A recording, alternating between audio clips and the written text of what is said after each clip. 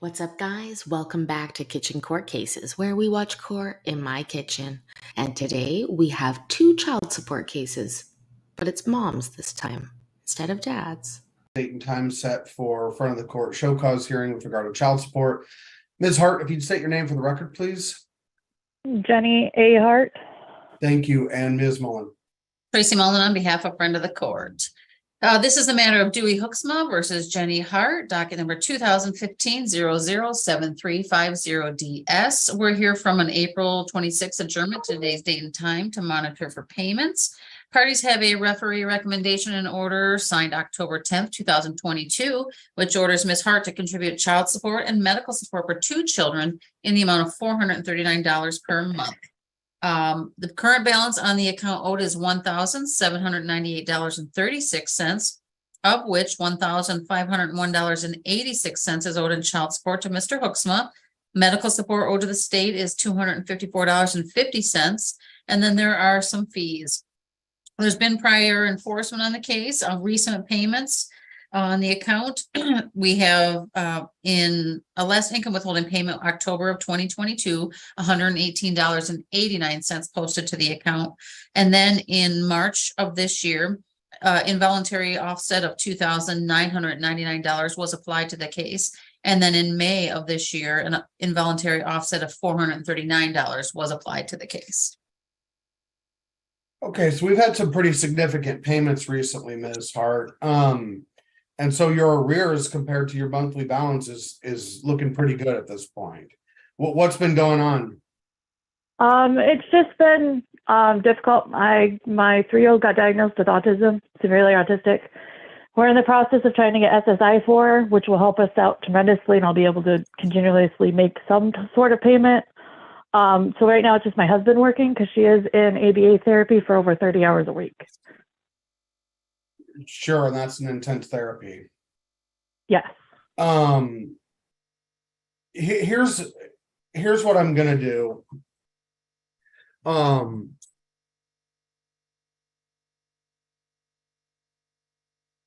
So in other words, you're, you're not currently working, correct? I'm not currently working. I there's just no way with transporting her back and forth and having the therapies that there's much time for me to work. I mean, I could work third shift, but I wouldn't get sleep, if that makes sense. It, it does. Um, so what I'm gonna do, because we've had some significant payments recently, I mean, the two thousand paid and, and the four thirty-nine, I know those are involuntary, but they're payments. Um, so, um, I'm gonna find that right now enforcement, I, I believe is a manifest hardship. Um, that doesn't erase your arrears, ma'am, or ult- it doesn't ultimately change your uh, monthly bill, but I don't want to have you on the show cause docket like this. Um, Okay. When there's obviously a lot going on in your household. Um. So it eventually, I guess what I have to say is eventually we'll have to figure out how to get steady payments coming in, but for today, I'm gonna dismiss the contempt.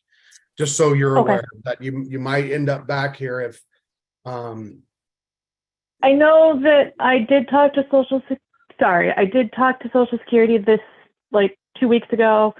They're still in the process of getting everything. Um, I filed it already. They're in the process of reviewing it and that kind of stuff. Um, and they said that I should know within three months whether or not we get approved.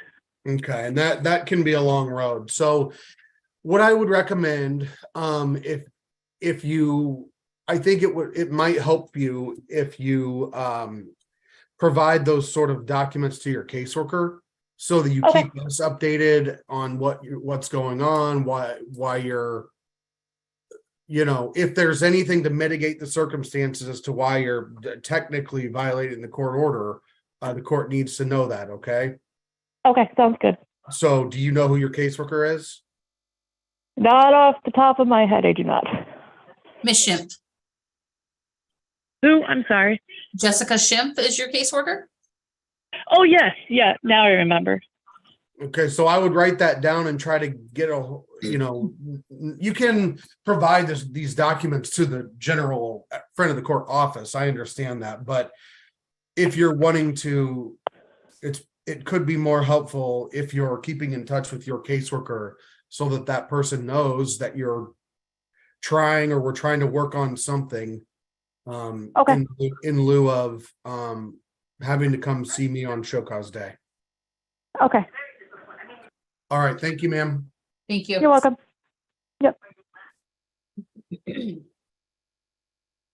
This hearing with regard to child support. Uh, Ms. Holmgren, if you'd state your name for the record, please, Nicole Michelle Hyatt. or Hyatt, thank you. Um, Ms. Mullen. Tracy Mullen on behalf of friend of the court. Uh, this is the matter of David Shaplicki versus Nicole Allman, um, also known as Hyatt, docket number 2010-005635 DM. Uh, parties have a second order modifying judgment of divorce signed October thirteenth, two thousand fifteen, which orders uh, Ms. Hyatt to contribute child support, health insurance premiums, and medical support for one child in the amount of two hundred and twenty-four dollars per month. There's been prior enforcement on the case. This is an adjournment from April twenty-sixth to today's date and time. Balance on the account currently owed is three thousand four hundred forty-six dollars and seventy-seven cents, of which three thousand two hundred forty-one dollars and seventy-seven cents is owed to Mr. Shaplicki in child support and medical support, and then there are some fees and costs. Payments on the account uh, in the past year. In October, uh, Ms. uh, Hyatt paid current plus arrears. In November, one hundred and thirty-six dollars and seventy-eight cents was paid. December, one hundred and thirty-six dollars and seventy-eight cents. And then in current, uh, current plus arrearages were paid by uh, Ms. Hyatt in January and February of this year. Uh, they also included a offset of three hundred and sixty-seven dollars. She paid, uh, I'm sorry, and then in March of this year, eight hundred and fifty-three dollars applied to the case as an involuntary offset. And then she made a payment in March, which was the last for twenty-seven dollars and twenty-one cents. Okay, thank you. Uh, Ms. Hyatt, so what's been going on? I had uh, spinal surgery done 15 months ago, and I've been having some complications. I ended up did getting a job for seven months at the bowling alley, but I ended up injuring myself, so I'm not able to work at the moment due to my spinal injury that I have. Do you have, um, well, obviously, I'm sorry to hear that, but do you have any medical documents you can provide to your caseworker where we could verify? I- that I information? have- It's not that we don't, so just so I could say, it's not that I don't believe you, but it's helpful to have some You- corroborating documents from a doctor or something so that we can put it in your file and not have you show up on show cause day. Your, Your Honor, I've done that twice already. I've had to send in medical from my doctor and my surgeon both. Okay, do you know when you did that? Ms. Mullen can look for me. It here. was sometime last year. Oh, I'm I not very, But that wouldn't have been, but that would have been before this most recent injury, correct? I've been dealing with this injury since the beginning of COVID for the last couple of years. Understood. So here's what I'm saying. You had surgery, then you were able to work. And then you were injured. We don't have anything around the injury. Okay. You see what I'm saying? So Yes. in other words, at some point, I understand you couldn't work and then you could. And now you can't. So I'm looking for some information that says that you cannot work currently. Okay, I can get that for you. And you have that information? I don't, but I can talk to my doctor and get some some of that because we're we're still going through all the process. Like I'm still going through it. I do more doctor's appointments, and it's been a very big hassle. Sh- Sure, any, any of, any of that, um, information that you can, that you have. And can provide your caseworker could help, because if we had that information, I could make a finding that you can't pay. But I'd just like to see that information first, so what I'm gonna do is Okay. just adjourn this out sixty days. So to give you opportunity and give you an opportunity to provide that information.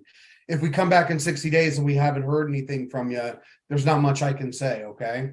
Of course, All right, so, um, and I, do you know who your caseworker is? it you. I know her by Julie Conway.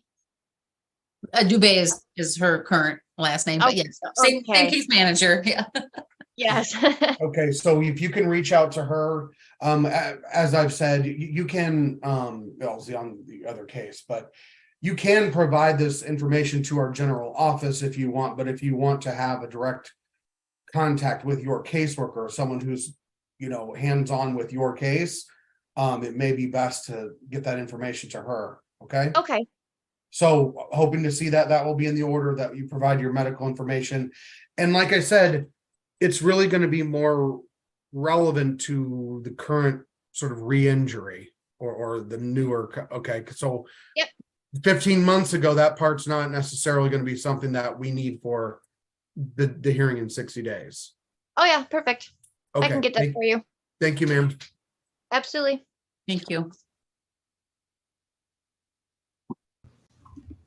Well, I thought that was interesting. We don't see cases with women as often in child support court, so I'm not sure why he adjourned both of them. Although the first one he seemed a little more understanding about. Anyways, I really enjoy Matthew Hagen as usual. I am so glad that uh, we get to watch his stuff. And I'm really glad that you are watching Court with me. If you like the video, please go ahead and click that button. Don't be a dick. I hope you have a great night. I'll talk to you soon. Bye.